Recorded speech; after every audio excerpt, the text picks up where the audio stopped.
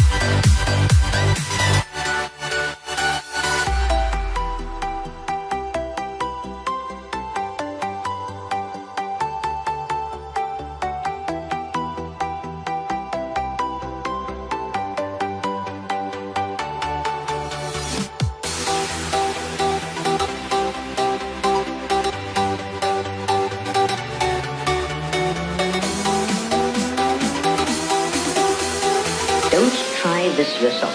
It's extremely dangerous.